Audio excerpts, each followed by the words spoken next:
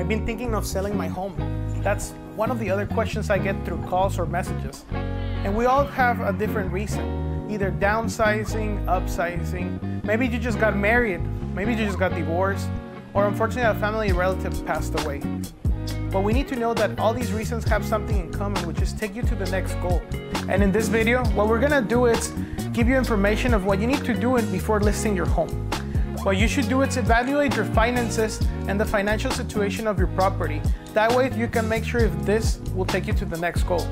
In my consultations, I like to understand all this background. That way we can figure out together what we should do. Also, you need to set a realistic price. What we're gonna provide you is a free comparable market analysis, and that way you know exactly what's your home worth and how much you're gonna net after the sale.